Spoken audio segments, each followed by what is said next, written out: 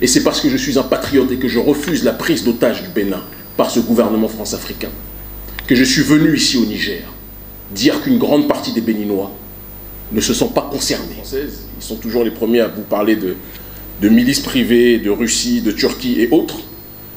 Mais ils oublient qu'eux, ils ont une milice historique, peut-être plus ancienne que toutes celles précitées, Présent au Niger, tout comme Nathalie Yam et d'autres leaders panafricains, Kémy Seba expose des sous-thèmes méconnus qui opposent le Bénin et le Niger. Preuve à l'appui. Suivez attentivement, mes chers amis.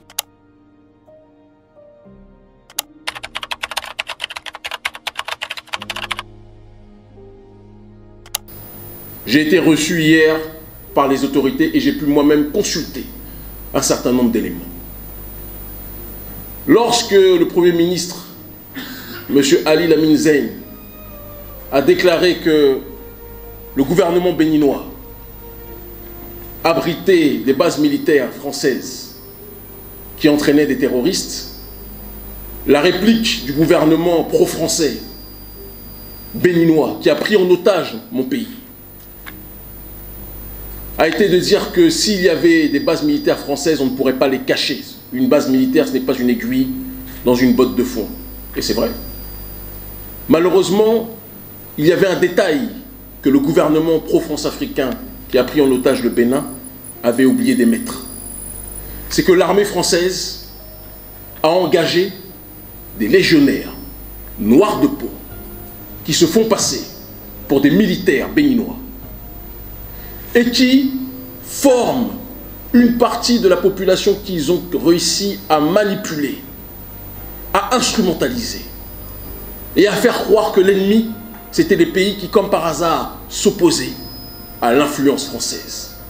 CF, des pays comme le Niger, des pays comme le Mali, des pays comme le Burkina. En prenant des légionnaires noirs, qui est une longue tradition hein, dans la Légion française, ils sont toujours les premiers à vous parler de milices privées, de Russie, de Turquie et autres, mais ils oublient qu'eux, ils ont une milice historique, peut-être plus ancienne que toutes celles précitées, qui a le droit de vie ou de mort sur l'être humain de manière générale. Et ces légionnaires noirs qui se font passer pour des militaires béninois en collaboration avec le gouvernement béninois entraînent une partie de la population, une minorité, des jeunes, désœuvrés, qu'ils instrumentalisent contre les ennemis du gouvernement français le président Patrice Talon trahit les intérêts de ma nation. Et c'est parce que je suis un patriote et que je refuse la prise d'otage du Bénin par ce gouvernement france-africain que je suis venu ici au Niger dire qu'une grande partie des Béninois ne se sont pas concernés par la démarche du président Talon et que cette grande partie de Béninois s'oppose à cette collaboration du président Talon avec le président Emmanuel Macron et avec l'armée française et ses sous-traitants de la Légion étrangère. Quant à l'armée française et les légionnaires noirs de peau qui sont présents au Bénin aujourd'hui, notamment au parc W, si je ne m'abuse, je dis et je répète que nous savons que vous êtes là. Entre autres, parce qu'il y a d'autres endroits. Nous savons que votre stratégie, parce que vous saviez, il y a eu des manifestations, notamment à Tandy, de la population qui disait qu'elle ne voulait pas des bases militaires françaises. Elle ne voulait pas des militaires français. Elle ne voulait pas que l'armée d'occupation française, que l'armée qui a contribué à faire assassiner Kadhafi et à déstabiliser le Sahel, s'installe sur le territoire béninois. La brave population béninoise s'est organisée. Et suite à cela, les militaires français se sont dit, puisque nous sommes identifiés en tant que militaires blancs, on ne va laisser que des instructeurs, ça c'est palpable, ce qui est déjà à mon sens condamnable, parce qu'on ne cherche pas pour s'instruire, pour éteindre le feu, à recruter celui qui a allumé le feu. Ça n'a aucun sens, c'est de la débilité politique, mais c'est un autre sujet. Elle s'est dit, elle va faire venir des légionnaires noirs qui vont former des entités qui se sont, à tort ou à raison, ostracisées, pour que celles-ci puisse agir en tant que force déstabilisatrice, appelée force terroriste, à différents endroits. de telle sorte que les militaires noirs, les légionnaires noirs présentés maintenant comme des militaires béninois passent inaperçus. Parce qu'on aura l'impression que ce sont des militaires béninois qui s'entraînent, et là, normalement, on n'aurait rien à dire. Mais nous avons les informations, des informations très précises. Le président Patrice Talon considère à tort la présidence comme le rôle d'un patron à la tête d'une entreprise. La différence entre un président et un patron d'entreprise, c'est que le patron d'entreprise, ses employés travaillent pour lui. Alors que le président travaille pour le peuple, et ce n'est pas le peuple qui travaille pour le président. Premier point. Et un président ne voit pas les autres pays frères comme des entreprises ennemies.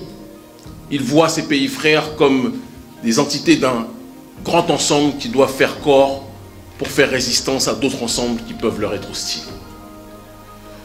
Au moment où nous menons une guerre de décolonisation en Afrique francophone, au Sahel, mais pas seulement, contre l'oligarchie française, appelée communément la France-Afrique, au moment où l'armée française est chassée par la volonté populaire de différents pays au Sahel,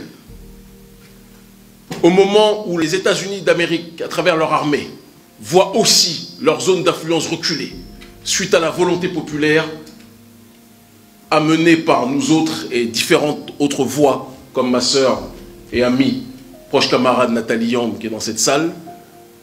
Au moment où cette armée américaine recule, le président Patrice Talon décide de renforcer ses liens avec des entités qui sont connues comme étant les entités responsables de la situation de déstabilisation au Sahel. Doit-on rappeler que c'est l'armée française et l'armée américaine qui ont conjointement assassiné le guide de la révolution libyenne, Muhammad al-Kadhafi?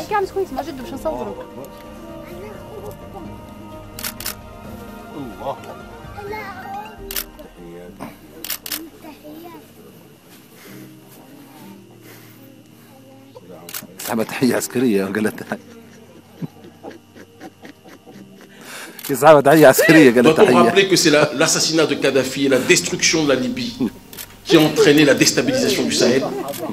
Cela aurait dû être une raison suffisante pour pousser à la prudence, à la réflexion, à la méfiance le président Talon dans sa volonté maladive de s'allier à l'oligarchie d'Occident.